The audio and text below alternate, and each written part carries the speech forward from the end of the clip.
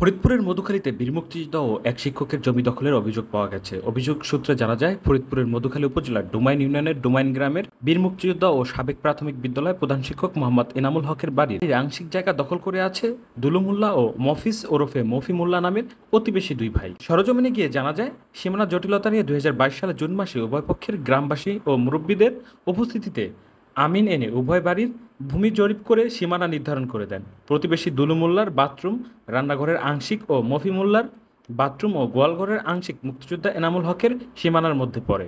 এ সময় উপস্থিত গ্রামের গণ্যমান্য ব্যক্তিবর্গ ওই বছরের অক্টোবর মাস পর্যন্ত সময় বেঁধে দেন।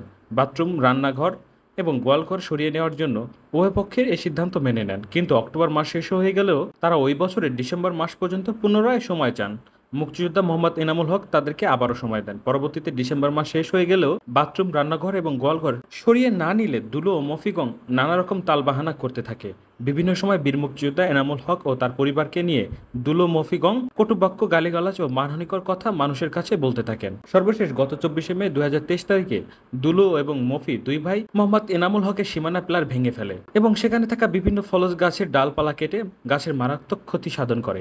এই সময় মুক্তিযোদ্ধা ও শিক্ষক এনামুল হক ঢাকায় তার ছেলের বাসা অবস্থান করছিলেন। চব্বিশে মে দু হাজার তেইশ খ্রিস্টাব্দ মফিও দুলু বীর মুক্তিযোদ্ধা এনামুল হকের বড় ছেলে তরিকুল ইসলামকে বর্তমান রাজবাড়ী জেলার বালিয়াকান্দ উপজেলাতে চাকরির সুবাদে বসবাসরত আছেন। তাকে মোবাইলে ফোন দিয়ে অকথ্য ভাষায় গালিগালাজ করেন প্রতিপক্ষগণ। সে কারণে তরিকুল ইসলাম পরের দিন পঁচিশে মে এই বিষয়ে প্রতিকার চেয়ে মধুখালী থানায় দুলু মোল্লা ও তার ছেলে মাহাব মোল্লা এবং মফি মোল্লা ও তার ছেলে শামসু মোল্লার নামে মধুখালী থানায় একটি জিডি করেন। উল্লেখ্য, একসময় মুক্তিযুদ্ধের একটি জমি বর্গা চাষ করতেন দুলু মোল্লা কালক্রমে আস্তে আস্তে জমির কিছু অংশ ভোগ দখল করে নেয়। এলাকার স্থানীয় কতিপয় সন্ত্রাসী দুলু মোল্লাকে উস্কানি দিয়ে সংঘাতপূর্ণ পরিবেশ তৈরি করার পায়তারা করছেন বলে অভিযোগ করেন বীর মুক্তিযোদ্ধা ও সাবেক প্রাথমিক বিদ্যালয়ের প্রধান শিক্ষক মোহাম্মদ এনামুল হক। বীর মুক্তিযোদ্ধা মোহাম্মদ এনামুল হক আমার প্রতিবেশী আমার জমি জোরপূর্বক দখল করে খাচ্ছে এবং আমি নিষেধ করার পরেও তারা শোনে না।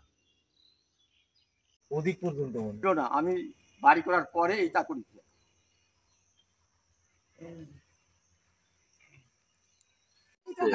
আচ্ছা ঠিক আছে। শামসু কই শামসু শামসু বসো। এই পলাশ বসো। আমরা ধরেন হুমকি দিচ্ছে যে কেস করবে আমরা। আমাদের শোনেন আইন যে আমরা গাছ কাটবো কি বলেন? উনি গাছ কাটলে আমরা কেস করে দেবো। তাহলে আমরা কি করে ঘর সরাবো গাছ কি করে সরাবো? অধিক পর্যন্ত না আমি বাড়ি করার পরে এটা করেছি